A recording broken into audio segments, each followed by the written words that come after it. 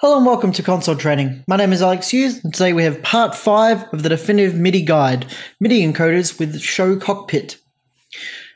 Before we begin with today's video, we need to cover a little bit of extra information as the video today has been sponsored by RD slash ShowCockpit.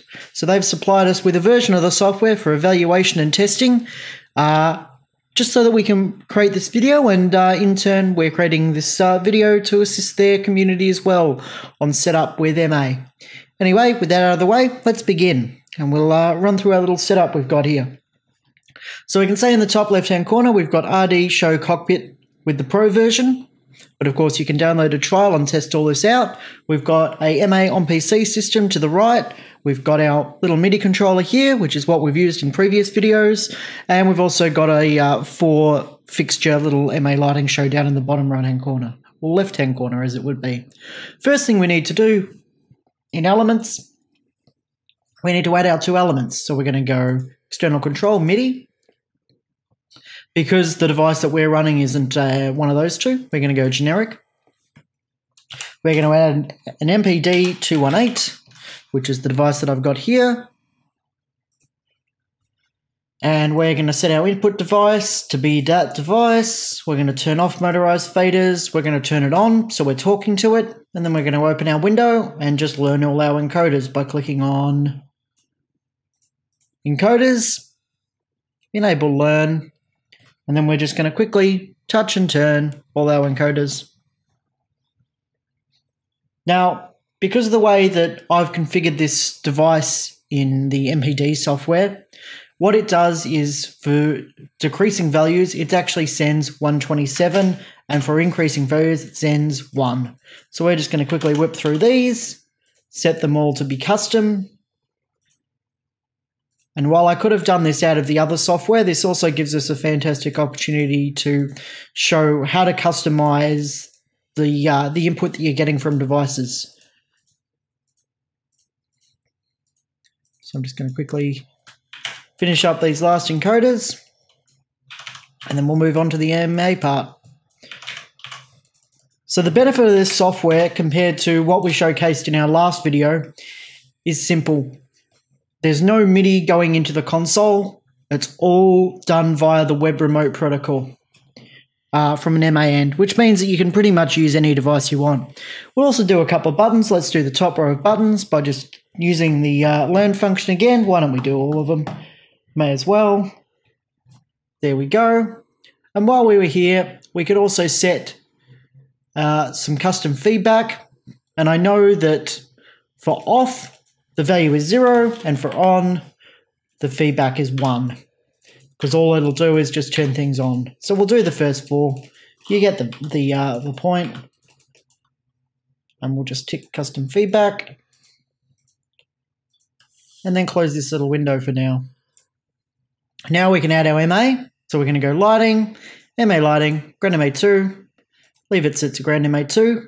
And before we connect our grandMA2, we need to make sure that we've got a user set up. Now you can use the administrator admin uh, user account, but I normally prefer to just create a remote one just because it's easier. So the username and password is remote and remote.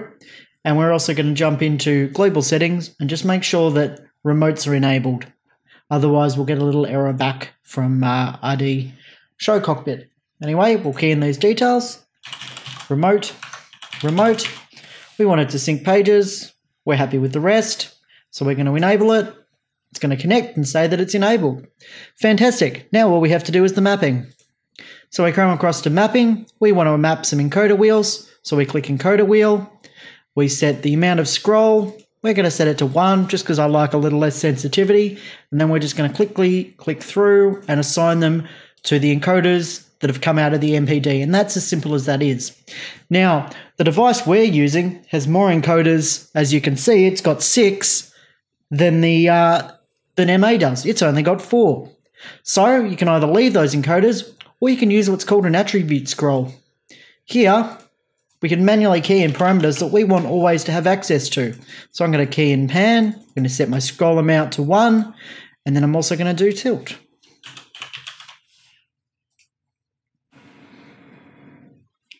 Now with that done, we can also assign some of these buttons. We mapped a couple, so why don't we use them? So to do that, we're going to go executor button, and we're just going to go executor one, and we're just going to assign the first four to be button one of those executors.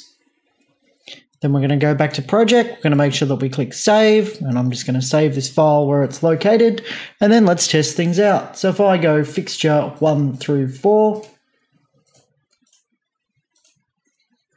give them some uh, intensity. We can see that encoder 1 is pan, encoder 2 is tilt. And if we slow this down, we can actually even do it using the normal fine and ultra keys, which is handy. You could also use the buttons for that if you wanted to. And then encoder 2 is pan and tilt. We'll try our third one, which is gobo. So we'll, we'll quickly flick through some gobos. And then let's check these two. So these were the ones that we set up as just attributes. So this one is purely meant to be set to tilt, which works.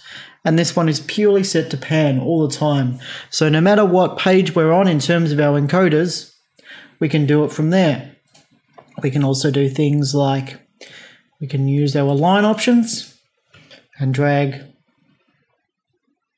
blue down so we get nice little gradients like so across the colors. Let's bring the green back.